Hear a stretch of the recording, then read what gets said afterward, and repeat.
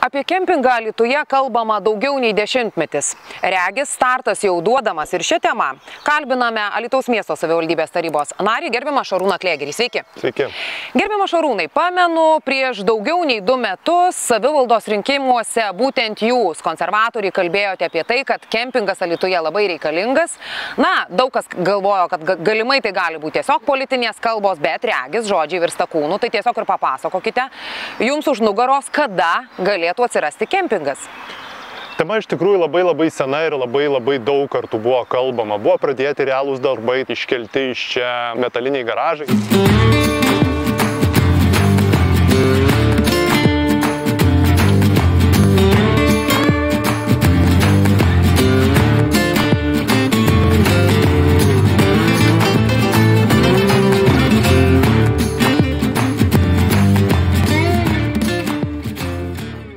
Turbūt litiškių daugelį atsimena, kad Vatulonų gatvės gale prie Dainavos siuvimo fabriko, prie miesto šašlikinės buvo garažų eilės, kurios buvo, bet ne prieš dešimtmetį, dabar tikslios datos aš nepasakysiu, buvo iškeltos. E, tuo metu buvo parengtas ir projektas, jau buvo apie tai lyg, lyg ir buvo pradėta startuoti, bet tie darbai sustojo. E, vėliau, mano manimų, kolegų manimų, kitų tarybos narių manimų, kempingas Alytuje yra labai labai reikalingas ir būtinas, kadangi 19 metais mes turėjom 12 tūkstančių atvykusių turistų į miestą, tuo, metu, kaip Alytaus rajone tie skaičiai yra net dvigubai didesni.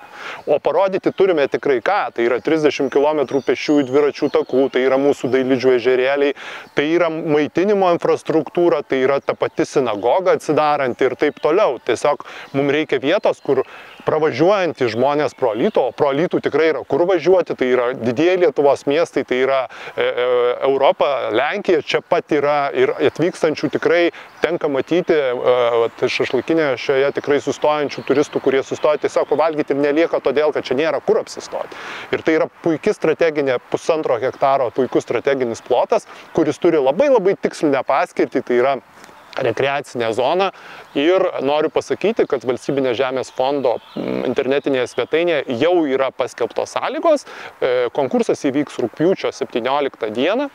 Pagrindinis kriterijus yra žemės nuoma vienas iš pagrindinių sąlygų, mes labai norime, kad tas, e, tas sklypas jisai nestovėtų, kad būtų kaip galima greičiau pradėti darbai, tai yra per 12 mėnesių parengti pro, projektavimo darbus ir per 24 mėnesius įregistruoti.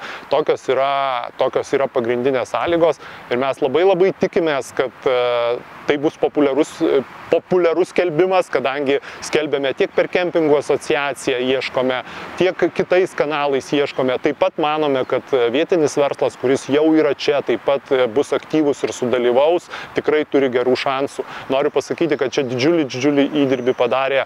Aš pradėjau tą vėliavą nešti, dar būdamas vicemero pareigose, dabar e, esantis vicemeras Povilas Labukas tą vėliavą perėmė ir padarė didžiulį darbą, padarė prezentaciją, padarė, e, atrado kontaktus kempingų asociacijų ir darbas labai labai intensyviai vyksta ir aš manau, kad tai bus tas infrastruktūrinis objektas, kuris į mūsų miestą pritrauks labai labai nemažą srautą turistų, kurie atvažiuos paliks čia, nepabijokim savo ir pinigus, pamatys ir, ir svarbiausia, pamatys, koks Lietuvos miestas yra gražus. Už kiek laiko realiai galėtų čia, na, jau duris atverti tos galimybės? Tai galim labai paprastai paskaičiuoti, jeigu rūpiučio 17 vyks aukcionas, o aš manau, kad jis tikrai vyks, tai po 12 mėnesių jau turėtų būti e, projektiniai sprendiniai turėtų būti, o po, dar po dviejų metų, nu, po metų, tai yra dviejų metų laikotarpyje mes man, manome ir tikimės ir norime ir labai tikime, kad tai čia atsiras.